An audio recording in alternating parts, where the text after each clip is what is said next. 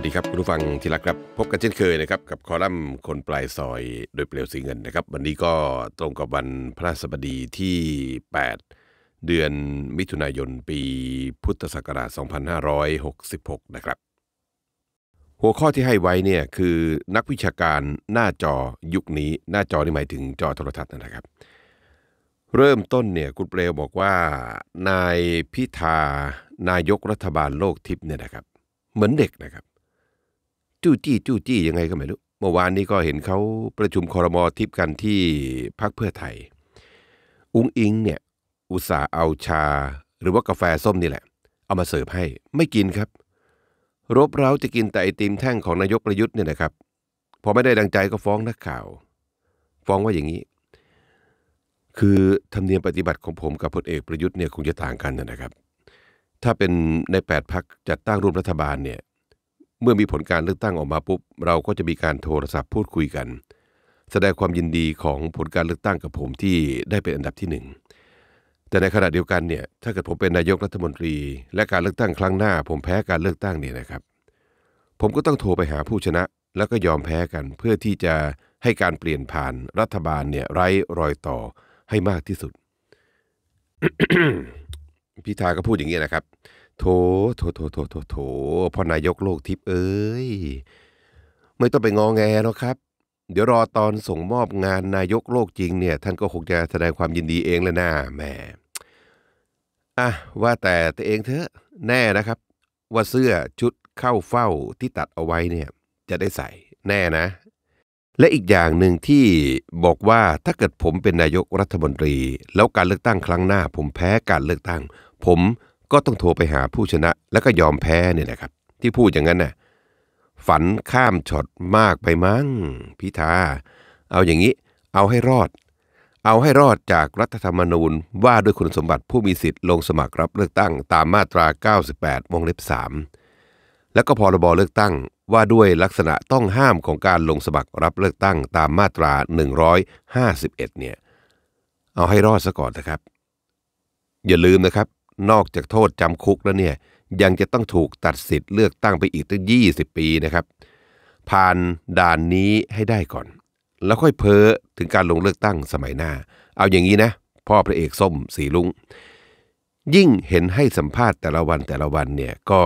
ยิ่งให้หน้าเอ็นดูกับโลกสวยของหนูน้อยพินอคคิโอคนนี้เหลือเกิน เพื่อไทยนี่ก็แม่เป็นเด็กเลี้ยงเด็กเก่งจริง ๆ จะว่าไปนะครับ ตามใจทุกอย่างเลยพี่ทายอยากจะเป็นนายกทิพย์ก็ให้เป็น อยากจะประชุมคอรมอทิพย์ก็จัดให้ สมแล้วครับ สมแล้วที่จบการประมงว่าด้วยศาสตร์ของน้ำร้อนปลาเป็นน้ำเย็นปลาตายซะจริง ๆ แล้วนี่ถ้าเกิดพิธากับก้าวไกลเกิดไม่ได้เป็นรัฐบาลขึ้นมาเนี่ยมันจะเกิดสงครามไทยกับสหรัฐไหมครับเนี่ย สงสัย ยิ่งปิยบุตรที่ออกมาขู่โอ้โห จะลุกเป็นไฟจากเหนือจรดใต้ ขู่อย่างนี้ได้แล้วเนี่ยน่ากลัวน่ากลัวนะครับเอออะไรก็นิติสงคราม เดี๋ยวมันจะลามเป็นนิติสังคังจนคันขยเยอกันไปทั้งประเทศแล้วนะครับ ช่วงนี้วันวันๆหนึ่งเนี่ยผมก็มีความสุขมาก กับการเปิดโทรทัศน์ดูรายการแต่ละช่องแต่ละช่องไล่กันไปทีครับ ตั้งแต่ไทย PBS Nation ไป PPTV ที่เขาเชิญ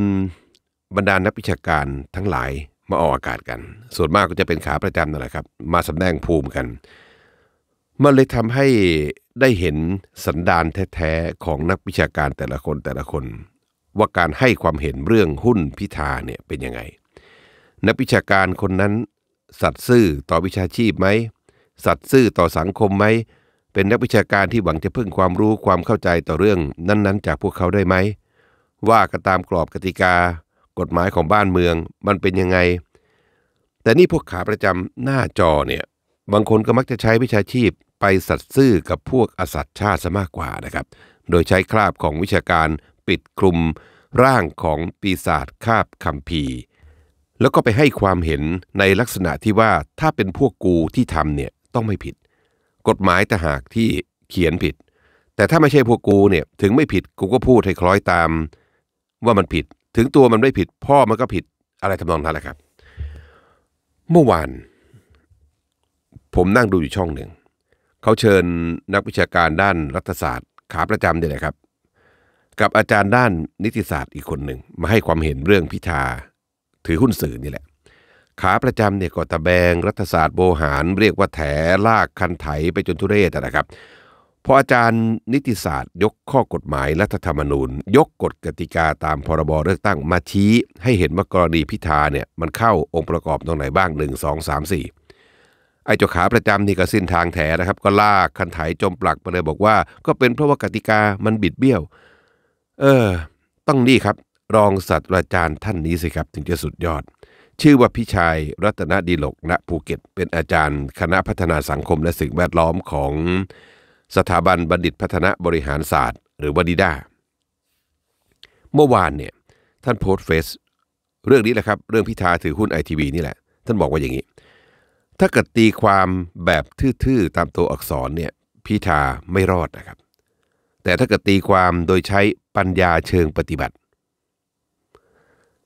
ปัญญาเชิงปฏิบัตินะครับ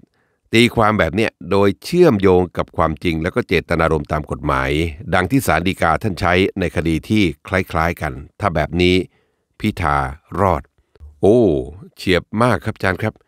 เข้าประทับทรงอริสโตเติลมาในภาคของปัญญาเชิงปฏิบัติโพสต์เลยทีเดียวนะครับ ช่างล้ำลึกล้ำลึกล้ำลึกและก็ล้ำเลิศจริง ๆ ต้องขอคารวะ เท่าที่ติดตามแม้ว่าในกรณีเดียวกันเนี่ยความคิดความเห็นทางวิชาการของท่านนี้ก็ดูจะต่างกับตอนที่ไปขึ้นเวทีพันธมิตรจากหน้ามือเป็นหลังมือเหมือนกันนะครับ แต่อย่างอาจารย์อีกท่านหนึ่ง สมชัยศรีสุทธิยากร ซึ่งเคยเป็นกกตมาก่อน ถึงแม้ว่าเอาละจะเอี้ยวๆไปบ้างนะครับ แต่ก็ไม่ทิ้งหลักกฎหมาย แล้วก็กฎกติกาเป็นแกนให้ยึดในการแสดงความคิดเห็นเลยนะครับ กรณีไอทีวีเนี่ยสมชัยให้ความเห็นอย่างนี้บอกว่า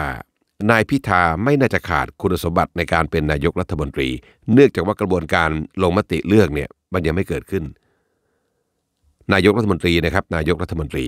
แต่ก็อาจ จะมีการตีความจากฝ่ายตรงข้าม ว่าต้องนับคุณสมบัติตั้งแต่วันเสนอชื่อวันที่ 4 เมษายน 2566 การขายหุ้นหลังจากสมัครสสเนี่ยจึงไม่น่าจะเกิดประโยชน์ต่อรูปคดีแล้วครับ เพราะว่าผิดก็ยังคงผิด หากไม่ผิดก็คือไม่ผิด แต่การขายทำให้คล้ายว่าเรายอมรับว่าน่าจะผิดเลยขายทิ้งก่อนเลือกนายกรัฐมนตรี นี่แหละครับ ไอ้ความเห็นแบบนี้เนี่ยจะผิดจะถูกไม่มีใครว่า เพราะว่าเป็นความเห็นอิงกรอบของกฎหมาย ไม่ใช่ว่าตะแบงไปด้วยความมีโมหคติ หรือว่าฉันทาคติ อีกท่านหนึ่งไม่ใช่ขาประจำหน้าจอสักเท่าไหร่ นานๆ ครั้งนะครับ ถึงจะปรากฏตัวออกมา คือคุณสดศรีสัตยธรรม ซึ่งเคยเป็นกกตด้วยเช่นกันนะครับ คุณสดศรีได้บอกว่าอย่างนี้ ตามรัฐธรรมนูญมาตรา 98 วงเล็บ 3 เนี่ยระบุว่าห้ามไม่ให้ผู้ใดถือหุ้นหรือเป็นเจ้าของหุ้นสื่อ ถ้าผู้นั้นจะสมัครรับเลือกตั้ง ถ้ามีหุ้นสื่อจะสมัครไม่ได้ การที่นายพิธาจะรับหุ้นดังกล่าวมาจากมรดกหรือมาจากการซื้อเองก็แล้วแต่ แต่เมื่อถึงเวลาที่จะไปสมัครรับเลือกตั้งเนี่ยต้องปลอดจากหุ้นดังกล่าวนี้ก่อน เรื่องการถือหุ้นเนี่ยจะนับจากวันที่ลงสมัครรับเลือกตั้ง ซึ่งในวันลงสมัครรับเลือกตั้ง หากมีกรณีนี้เกิดขึ้นกกตไม่สามารถที่จะล้วงลึกไปได้ เพราะว่าเป็นเรื่องที่ผู้ร้องเรียนไปหาหลักฐานมาร้อง กกตจะต้องรับเรื่องขึ้นมาพิจารณาว่าผิดหรือขัดกับมาตรา 98 วงเล็บ3ไหม เป็นเรื่องที่น่าเสียดาย ถ้าหากว่าท่านยังถือหุ้นอยู่ และเป็นหุ้นสื่อด้วย หากกกตรับลูกว่ามีหุ้นสื่อจริง ก็ต้องเรียกฝ่ายที่ถูกกล่าวหาเนี่ยมาให้การ แล้วก็ต้องไต่สวนทั้งสองฝ่าย ส่วนการโอนหุ้นตอนนี้ จะมองว่าเป็นการเลี่ยงหรือไม่ ถ้าสมัครรับเลือกตั้งเป็นสสแล้วมาโอนให้กับใครก็ตามทีหลังเนี่ยเขานับหนึ่งในวันสมัครรับเลือกตั้ง ถ้าในวันสมัครรับเลือกตั้งขาดคุณสมบัติ ในกรณีนี้จะมาโอนหุ้นทีหลังเนี่ยมันก็ไม่พ้น แต่ถ้าหากมองว่าเป็นเทคนิคในการสู้คดีทุกท่านก็มีสิทธิ์ที่จะอ้างได้ขึ้นอยู่กับกกตหรือศาลที่จะตีความกัน แต่ถ้ามาตราไหนชัดเจนอยู่แล้วห้ามไม่ให้มีหุ้น ถือหุ้นหรือเป็นเจ้าของหุ้นสื่อ ในวันยื่นใบสมัครรับเลือกตั้งสส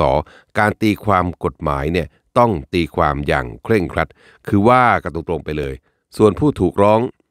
จะสู้อย่างไรก็เป็นอีกเรื่องหนึ่ง แล้วก็ยังมีอาจารย์กฎหมายอยู่อีกคนหนึ่ง คืออาจารย์คมสันโพคง เมื่อก่อนเนี่ยก็ออกจอบ่อยครั้งนะครับ แต่มาระยะหลังนี่หายหน้าไป แต่ละครั้งแต่ละครั้งที่ให้ความเห็นเนี่ยก็จะพูดแบบเอื้อเฟื้อต่อกฎหมาย และก็กฎกติกาสังคม สมกับที่เป็นครูบาอาจารย์ที่ยึดถือได้นะครับ อย่างเมื่อปี 6263เนี่ยเรื่องธนาธรปล่อยเงินกู้พักอนาคตใหม่ปิยบุตรสำแดงความเป็นผู้เชี่ยวชาญด้านกฎหมายรัฐธรรมนูญทันทีปิยบุตรบอกว่าอย่างนี้พักการเมืองเนี่ยเป็นนิติบุคคล อะไรที่กฎหมายไม่ได้ห้ามสามารถทำได้ เช่น การกู้ยืมเงินปิยบุตรบอกอย่างนี้นะครับ ส่วนอาจารย์คมสันเนี่ยท่านบอกว่าอย่างนี้พักการเมืองเป็นนิติบุคคลตามกฎหมายพักการเมืองจึงเป็นนิติบุคคลตามกฎหมายมหาชนด้วย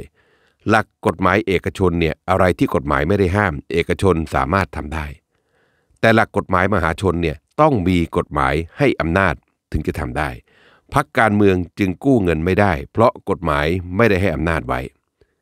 เห็นไหมครับความแตกต่างกัน เรื่องนี้จบโดยสารรัฐธรรมนูญ มีคำวินิจฉัยยุบพักนะครับ